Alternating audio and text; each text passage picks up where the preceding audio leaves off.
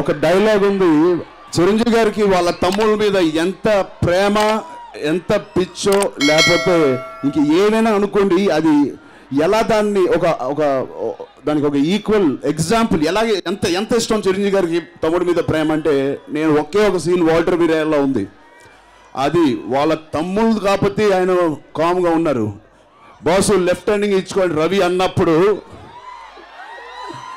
ఆ డైలాగ్ ఇంక ఎవరైనా అనుంటే ఏమయ్యేది?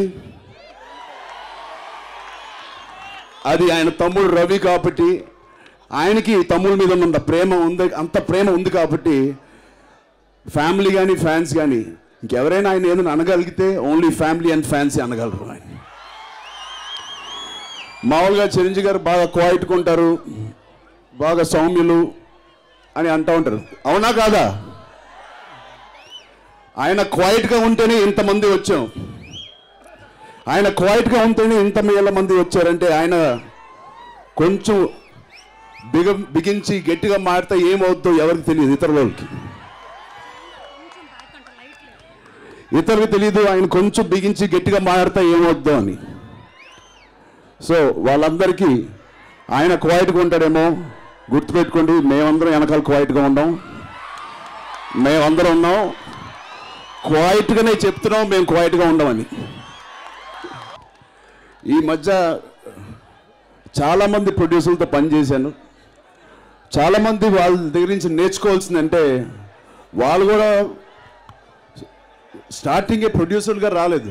వాళ్ళు కూడా వేరే వేరే బిజినెస్లు చేసుకుంటూ ఒక ప్యాషన్ సినిమా అంటే ప్రేమ సినిమా వ్యక్తులు అంటే ప్రేమ ఈ ఇలాంటి ఒక మాస్ తెలుగు సినిమా అంటే కమర్షియల్ ఫిల్మ్ అంటే ప్రేమతో వచ్చిన ప్రొడ్యూసర్స్ ప్యాషన్తో వచ్చిన ప్రొడ్యూసర్స్ వీళ్ళకి రెగ్యులర్ ప్రొడ్యూసర్స్ కన్నా ఎక్కువ కమిట్మెంట్ ఉంది ఒక ప్రాజెక్ట్కి అది ఈ మధ్య కాలంలో ఉన్న ఒక ఇద్దరు ముగ్గురు ప్రొడ్యూసర్స్ నేర్చుకోవాలి వాళ్ళ దగ్గర నుంచి ఎలా చేయాలో ఎంత మెజెస్టిక్గా దమ్మున్న ప్రొడ్యూసర్స్ అంటే మైత్రి వాళ్ళ బాబీ గారి గురించి చెప్పాలి.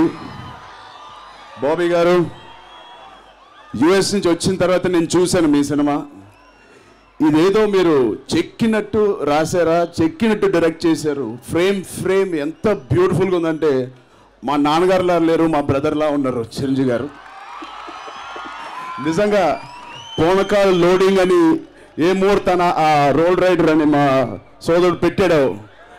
కలెక్షన్స్ మామూలుగా లేవని నేను అక్కడి నుంచి వింటుంటే ఎప్పుడెప్పుడు ఫ్లైట్ పట్టుకుని వచ్చి పుణకాల లోడింగ్ సినిమా చూడాలని అనిపించింది.